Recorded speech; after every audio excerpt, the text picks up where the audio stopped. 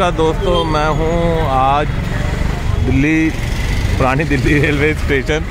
लोग पूछ रहे थे, ग्रेटर नोएडा का क्या होगा भाई? क्या करें? रेट बढ़ेंगे, नहीं बढ़ेंगे? उसी टॉपिक को लेके मैं यहाँ का माहौल कंपेयर करने आया हूँ कि देखो, ये तो दुनिया है जहाँ पे आपको रहना चाहिए।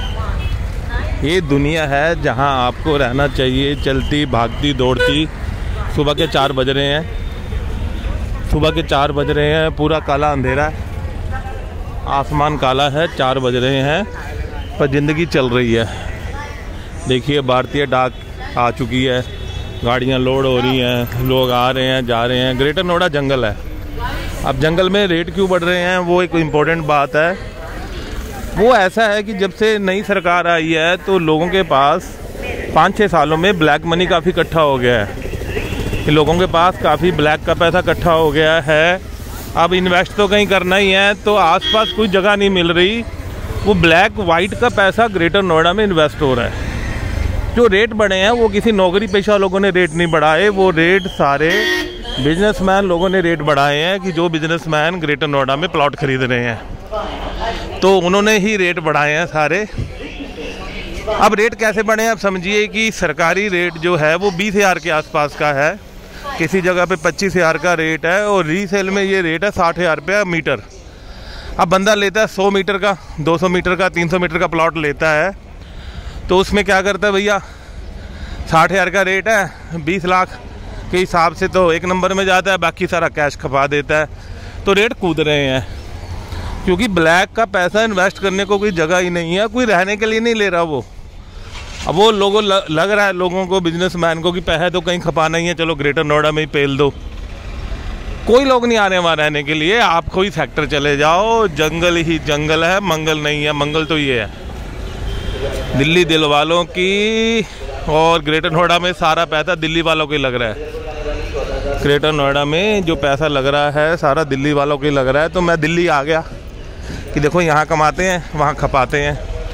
दिल्ली वाले दो नंबर का पैसा यहाँ तो कमाते हैं और ग्रेटर नोएडा में खपाते हैं। ठीक है जी तो जो बंदे नौकरी पेशा बंदे हैं, वो समझ लें, नौकरी पेशा बंदे समझ लें कि ये सारा दो नंबर का खेल है।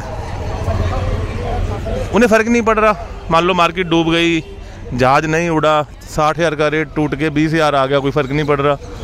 वो कहेंगे, यार, कोई बात नहीं, तीस साल बाद बेच लेंगे, मेरा पोता बेच लेगा, पड़पोता बेच लेगा, हमारा तो प्लॉट पड़ा कोई टेंशन ही नहीं है। वो वैसे खुश होते रहते हैं।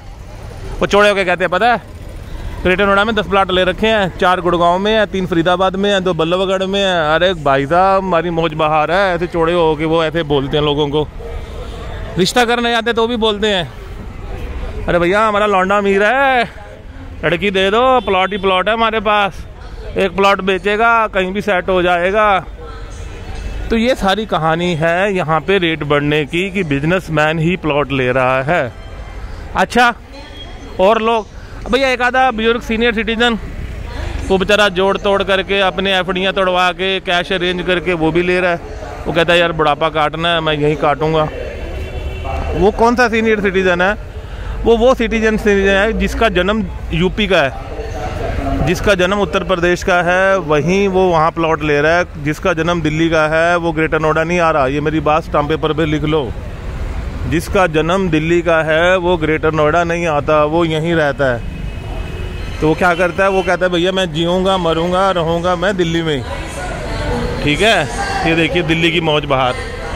आओ आओ, देखो, दिल्ली दिलवालो आ जाओ आ जाओ आ जाओ आ जाओ आ जाओ आ जाओ, देखो। लॉट भी है, पॉट भी है, सब कुछ यही है। ये है सच्चे भारत की निशानी।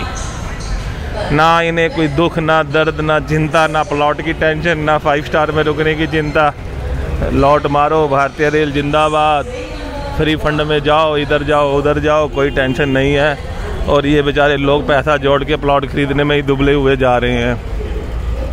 तो दोस्तों, दुबले मत हो, दुबले पतले मत हो ग्रेटर नोएडा का खाब। अगर आप ग्रेटर नोएडा में प्लॉट है तो आपका बिजनेसमैन होना ज़रूरी है। दो नंबर के पैसे हों तो भी ले पाओगे। या आपका जन्म उत्तर प्रदेश का है, यहाँ रहने के आदि हो तो ले लो।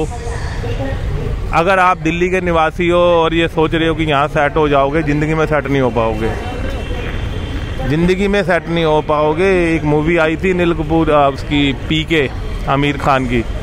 वो जाके देखता हॉस्पिटल में कि नीचे ठप्पा कहाँ लगा है, धर्म का ठप्पा कहाँ लगा है तो जिसके ठप्पा लगा हुआ है, यूपी की पैदावार का, वही यहाँ खप सकता है, दूसरा बंदा यहाँ खपेगा नहीं।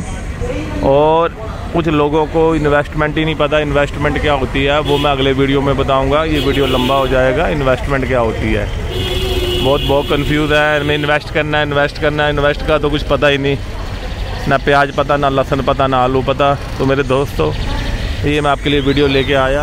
आज तारीख कितनी हो गई है? आज तारीख होगी मेरे ख्याल पे तारीख आज हो गई। तेरह चौदह तो हो ही गई यार। शनिवार है, चौदह तारीख है। शनिवार, चौदह तारीख, चौदह मई दो हज़ार बाईस। चौदह मई दो हज़ार बाईस। और सुबह के यही चार पाँच बजे का समय है। मैं हूँ दिल्ली रेलवे स्टेशन। दिखाने के लिए कि ज़िंदगी यहाँ चलती है। ग्रेटर नोएडा तो भूतों की नगरी है। आना तो आ जाओ। फंस जाओ। दो नंबर के पैसे तो प्लॉट लेके डाल दो। अगर गेम चल गई, गेम पलट गई तो ये रेट रोहनी की तरह पाँच लाख तक जा सकते हैं, पर जुआ है। आपके जो पैसे हैं उतने भी हो सकते हैं, साठ के साठ भी रह सकते हैं। मैं आपका दोस्त शशि भूषण गर्ग जय हिंद, जय भारत। नमस्कार।